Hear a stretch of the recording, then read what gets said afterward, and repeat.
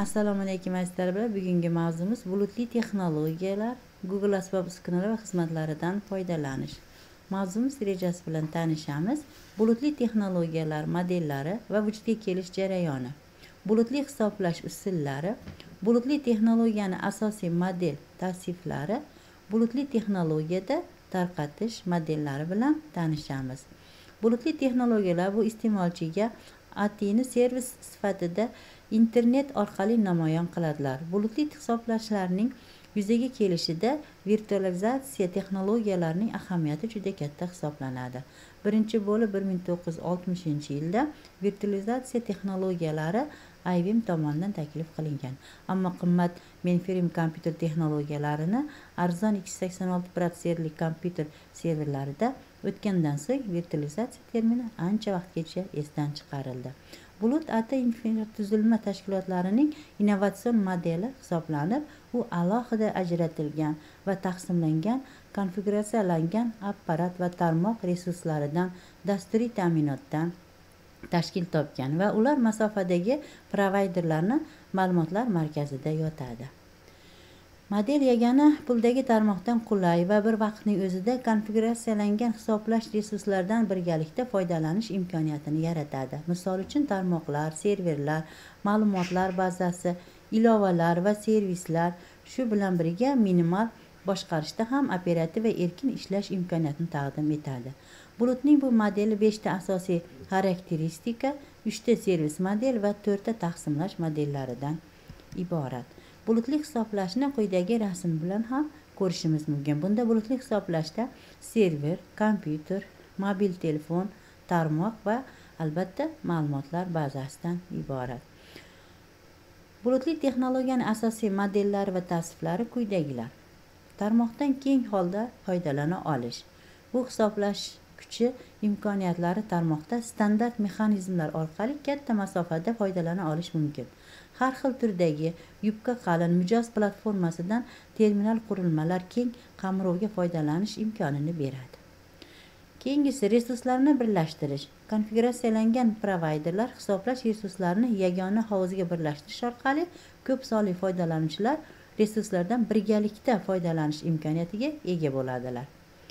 Resurslarni tezkor elastikligi foydalanuvchilarning talabiga qarab bulut xizmatlari kengayishi tez taqdim etilishi qisqartirilishi mumkin. O'lchangan servis aslida foydalanilgan buxgalteriya iste'mol servis va to'lov xizmatlarini imkoniyatlari. Bulutli tizimlar servis turiga qarab abstraksiyaning ba'zi bir darajalariga o'lchashni amalga oshirish orqali resurslardan foydalanishni optimallashtiradi va ular ustidan avtomatik nazorat qiladi. Bulutli hisoblash talab bo'yicha o'z o'zini xizmat ko'rsatish tarmoqdan keng holda foydalana olish resurslarni birlashtirilgan holda resurslarni tezkorligi va elastikligi va servislarni o'lchashni quyidagi rasmda ko'rishimiz mumkin. Bulutli texnologiyada tarqatish modellari xususiy bulut bu infratuzilma bulut hisoblashni tatbiq etishda yagona tashkilot doirasida foydalanadi. Jamoaviy bulut bu infratuzilmada bulut hisoblashdan faqatgina tashkilotning alohida bir jamoasi bo'limi foydalanishi mumkin. Ommaviy bulut bu infratuzilma bulut hisoblash xizmatlaridan keng omma foydalanish imkoniyatiga ega. Taqsimlash modellarini quyidagi rasm bo'yicha tasvirlashimiz mumkin. Ommaviy bulut infratuzilma bulutli hisoblash xizmatlaridan keng omma foydalanish imkoniyatiga ega. Xususiy bulut infratuzilma bulut hisoblashni tatbiq etishda yagona tashkilot doirasida foydalaniladi. Jamoaviy bulut infratuzilmada bulutli hisoblashdan faqatgina tashkilotning alohida bir jamoasi yoki bo'limi foydalanishi mumkin. Infratuzilma tarqatish modellarini barchasini o'z ichiga olgan xususiy jamoaviy ommaviy bulutni ochgan bu gibrid bulutdir. So'nggi yillarda bu mavzu it sohasida eng mashhur biriga aylandi. U ba'zan hatto ongsiz va butun kundalik sifatida biz bilan ishlatiladi bugungi kunda butun diqqat butunlay juda qiziqarli va istiqbolli texnologiya ya'ni it sohasining oltin tomirlari taxallusi ostida yashiringan bulutli texnologiyalarga yoki bulutga ya'ni bulutli texnologiyadan foydalanishdir. Ishonch hosil qilish uchun bir misol qilaylik agar elektron pochta email foydalanishni olsak bu xabarlar olishga foydalanishga imkon beradi. Ayrim veb sayt xizmat masalan gmail elektron pochta bilan ishlash bo'lsa u bir bulut kabi bir qismi bo'lib xizmat qiladi.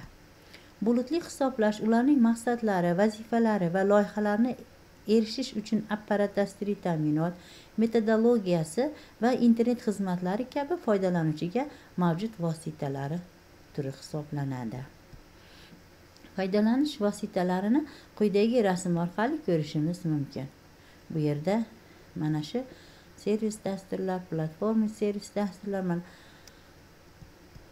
bulutli texnologiyalar bo'yicha hujjatlar bilan ishlash. Bu yo'lda va it infratuzilmasining ikkita va yarim vaqtda raqobatchilari google va microsoft kompaniyasini boshqargan. Har ikkala kompaniya ham hujjatlar bilan ishlashga imkon beruvchi xizmatlarni taqdim etdi. Google tarafida ularning google docs hozir google drive prezentatsiyalarni yaratish uchun matnli tabulятsion protsessor va prepludio'ni o'z ichiga olgan bepul onlayn ofis hamda fayl almashish funksiyalari bilan internet xizmati bulutli saqlash fayllari.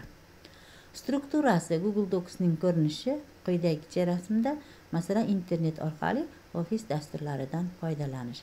Bu vebga asoslangan dasturlardir ya'ni foydalanuvchi kompyuterida o'rnatmasdan turib veb brauzerda ishlaydigan dastur ya'ni har qanday word excel muqobil versiyasini sotib olishdan faqat yo'q va bularning barchasi foydalanuvchilar tomonidan yaratilgan hujjatlar va jadvallar maxsus google serverlarida saqlanadi yoki faylga eksport qilinadi. Strukturasini quyidagi rasmda ham ko'rishimiz mumkin. Bu dasturning asosiy afzalliklaridan biri chunki kiritilgan ma'lumotlarga kirish internetda ulangan har qanday kompyuterdan parol bilan himoyalangan kirish amalga oshirishi mumkin. Microsoft tomonidan ular microsoft office web appsdir. Microsoft office web ilovalari web brauzer orqali microsoft office xususiyatlaridan foydalanishga va hujjat bilan ishlashga imkon beradi. Ularni ko'rish ularni tahrirlash uchun to'g'ridan to'g'ri saqlanadigan veb saytga murojaat qilish mumkin. Shunday qilib hujjatlar ya'ni ofis dasturlarida bir xil tarzda brauzer paydo bo'ladi ya'ni birlashtirishni aytish kerak. Shuningdek ta'kidlash joizki har ikki xizmatlar yaqindan pochta ikkinchi birinchi holatda gmail va hotmail va fayl asoslangan saqlash google docs foydalanish topish bilan bog'liq deb yetarli erkin google hisobi bor va siz siz qayta ishlash uchun dasturlar majmuini oladi. Elektron jadvallar va m3 brauzeriga o'ng yuqorida aytib o'tilganimizdek ko'pchilik uchun google docs to'liq almashinadi. Microsoft office pullik. Agar bu ikki xizmatlar bo'yicha qisqa bir nutqlarni harakat bo'lsa biz foydalanuvchi onlayn o'zining odatdagidek ofis axborot vositalari uzatiladi deb aytishimiz mumkin. Bir nechta kompyuterlar bo'lishi mumkin lekin bulut saqlash yordamida siz kompyuterlaringiz va hatto smartfon barchasi uchun fayllar bilan birgalikda bir papkani qilish mumkin. Eng qiziqarli operatsion tizimi o'zi qattiq diskdan boshqaga barcha papkalardir. Tomonlar papkaga o'tadi chunki hech qanday maxsus chora qilish bor yo'q. Lekin shunchaki sinxronlashtirish dropbox xizmat sizga bepul ikki gigabayt ma'lumot saqlash imkonini beradi. Unda asosiy e'tibor sinxronizatsiya va axborot almashinuviga bog'liqdir. Dropbox serverda fayllarni o'chirib keyin ma'lumotlarni qayta tiklash imkoniyatiga ega bo'ladi. Plyus fayl o'zgartirishlar tarixi oxirgi o'ttiz kun muddatga mavjud bo'lgan. Amalga oshiradi deb yuklab olish tarixiga keladi. E'tiborlaringiz uchun rahmat. Ushbu savollar bo'lsa ushbu manzilga murojaat qilishingiz mumkin. Rahmat.